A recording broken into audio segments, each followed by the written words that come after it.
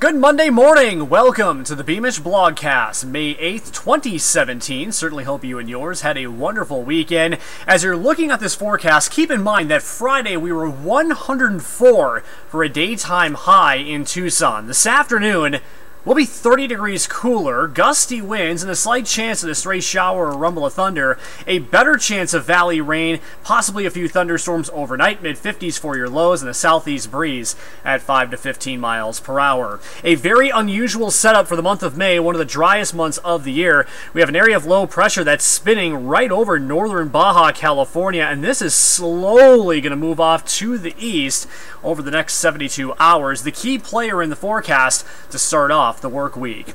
Again, couple of isolated showers possible this afternoon. Main event for valley rain, possibly mountain snow as low as 6,000 feet overnight on and off through your Tuesday and early Wednesday. Once we get to Wednesday afternoon, I do think the bulk of the rain and mountain snow comes to an end. Valley rainfall totals for much of southern Arizona through Wednesday a tenth of an inch up to a half inch of rain, and possibly one to three inches of snow up on Mount Lemmon starting overnight through the first half of Wednesday.